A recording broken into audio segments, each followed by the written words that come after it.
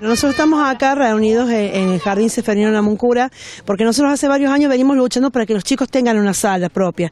Nosotros hemos funcionado durante todos estos años en una sala de estar que no tiene ni la comodidad, ni la seguridad, ni la privacidad que los niños necesitan. Empezó el año pasado la toma del jardín. Como era cada época de campañas políticas, ¿qué vinieron a hacer? Levantaron las paredes, construyeron, pero todo quedó en eso. Dice la empresa que no puede avanzar porque no se les ha abonado. Vino Javier Taborda, dijo que es verdad, que ellos no han abonado a, la empresa contratista y que por eso está todo frenado. El tema es que nosotros nos perjudica, porque los niños tienen una hora y media de clases. Eh, no les sirve ni pedagógicamente y otra que otra solución que nos ofrecieron es pasarnos, por ejemplo, a Aéreos de Malvin, un barrio que no nos corresponde, nos queda lejos porque todos traemos nuestros hijos acá a la, escuela primaria. Y ahora los de sala de cuatro le han quitado hasta, han tenido que quitarle hasta la merienda para que esa media hora que usan de merienda puedan usarla en alguna actividad.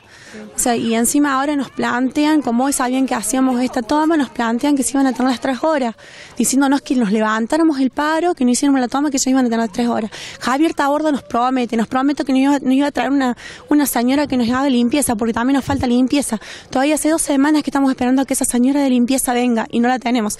Están todas las horas paradas allá, hace más de un mes que los albañiles no vienen y nos siguen prometiendo. Y las mamás se juntan acá y se reúnen y nosotros queremos luchar por los hijos, porque nuestros hijos merecen que tengan una educación y una buena educación. Entre los chicos de sala de 4 y sala de 5, ¿cuántos son?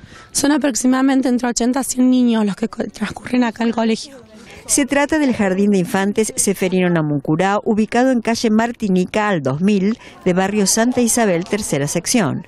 Las madres de los pequeños decidieron continuar con la medida. Vamos a seguir hasta que por lo menos alguien se acerque, no con una promesa de dos o tres días, una semana, sino que por lo menos nosotros vemos que, se, que empezaron las obras de nuevo, que se retomaron las acciones de los obreros.